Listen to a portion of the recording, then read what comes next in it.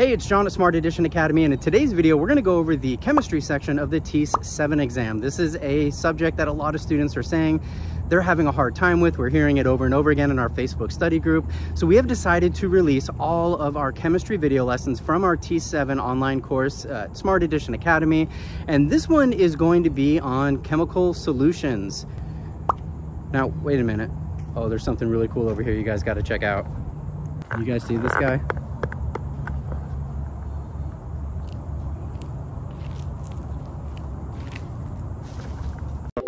So like I was saying, uh, so we're putting out all these videos so that we can help you guys out. Now, check out the links in the description below. There is a link to a free T7 practice test. There's a link to our uh, Facebook study group, and there is a link to our T7 online course. Now, that online course has 100 video lessons, just like the one you're about to watch. So if you like these videos and you want to see more, you can check out that link. And then, of course, if you like the video, leave a comment below. Let us know if you have any questions on anything. We can help you guys out. So what is a mixture? What is a solution?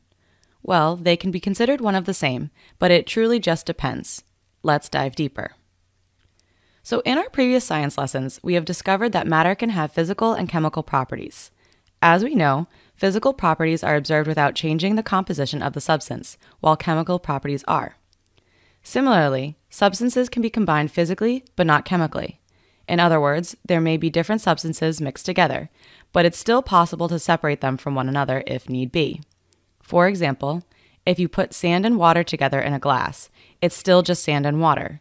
It's possible to separate them from each other even though they've been put into the same container. When elements and compounds are physically combined, they form a mixture. These mixtures may be described as either heterogeneous or homogeneous. Hetero is a Latin root meaning different or dissimilar. So, when we use it in biology to describe alleles, it makes sense that when an offspring inherits two different alleles, one from each parent, it is described as heterozygous.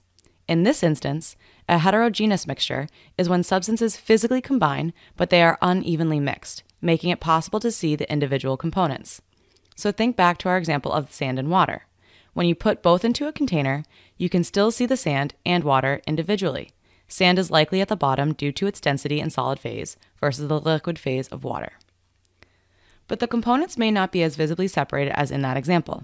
Heterogeneous mixtures may also be described as a suspension, because while particles may appear dissolved into a liquid phase of the solution, there are in fact larger particles that are not dissolved, but suspended in solution.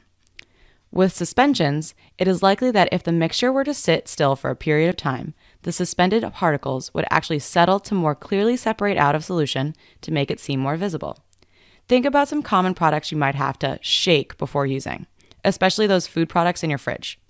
Some common household salad dressings that contain an oil substance are likely to be shaken for best use. But if you've ever gone a long time in between needing your salad dressing, you might notice that it does in fact settle and you can see the oil and water actually form two separate layers in the bottle. Let's think of another item. Perhaps your orange juice in the morning. Now, this one may not seem so easy, and we will look at it again when we examine other mixtures. But if you look at the bottom of an orange juice container, you will likely see pulp and other small particles suspended in the solution. Although they may be harder to see because the color of the juice is overwhelming, you can determine the unevenness of the mixture if you can ever recall a moment where you've taken a sip and actually gotten a mouthful of pulp. The pulp is that component not evenly distributed within the juice mixture, it's just sitting in the substance. But let's turn back to our other type of mixture.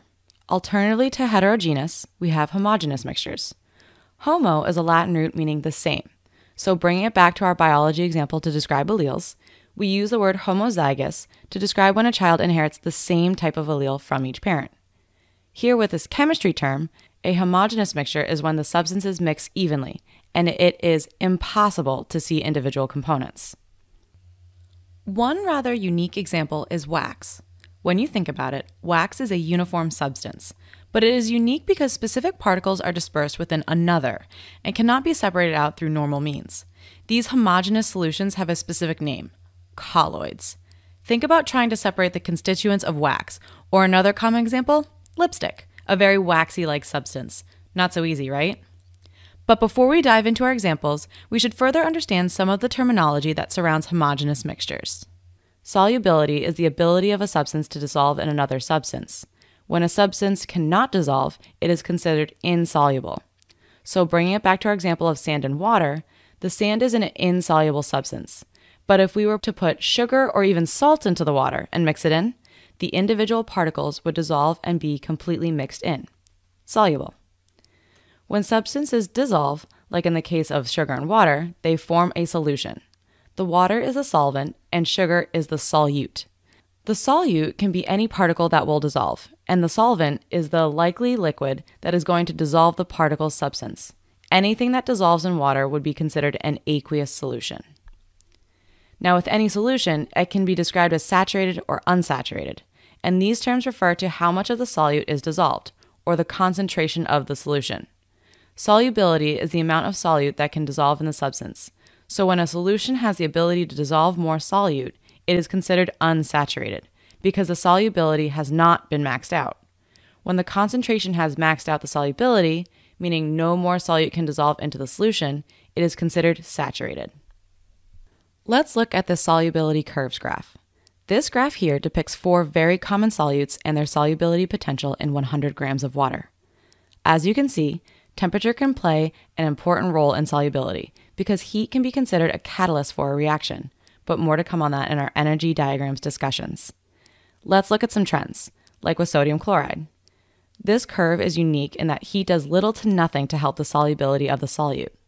This is quite different from calcium chloride, where the solubility increases exponentially from 0 to less than 30 degrees Celsius. The reaction of calcium chloride is also quite the opposite of cerium 3 sulfate, which is one of the very few solutes that actually decrease in solubility with a rise in temperature. It is important to reiterate that the solubility of each solvent reflects when there is 100 grams of water. This would affect the concentration, as we've said, and values are comparable because the solvent is consistent. However, concentration has the potential to be expressed in many different ways. For example, molarity is a way of expressing the number of moles of a substance in one liter of solution, whereas molality expresses the number of moles of a substance per kilogram of solvent. But what are moles?